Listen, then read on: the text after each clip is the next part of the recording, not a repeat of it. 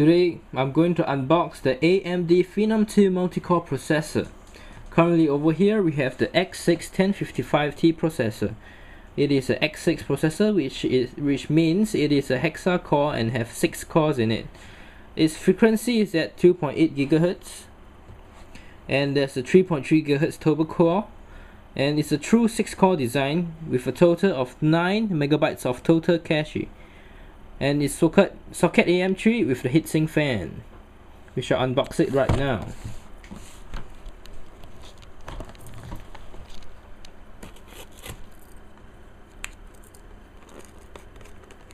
Oops.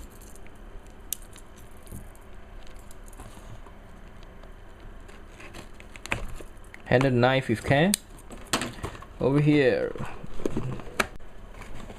And here we are unboxing it. Wow AMD has gone green with the environment they're environmental friendly.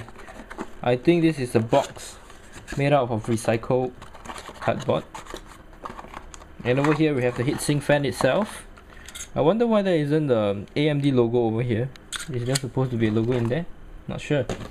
Anyway uh, this is a copper base heatsink fan and there's already thermal grease applied um, I believe it's a yeah it's a AVC as I'm not sure if you can see it over here. It's uh, made from AVC I suppose it'll be very loud. Anyway over here moving on. We have the AMD Phenom 2 processor itself is the 1055 I repeat. And currently we have the case badge over here. Phenom 2 case badge. Okay, we have a user manual for the AMD processors. Hmm.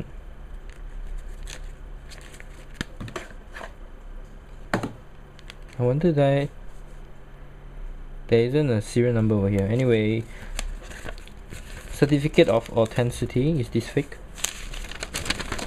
Okay, this is a socket AM3. There's install teaching you how to install on your AM3 socket over here it's available in Chinese as well as English but for the installation wise there's only there's only Chinese and English for the installation instructions but there are also other instructions on or this read this first there's a read this first in different languages.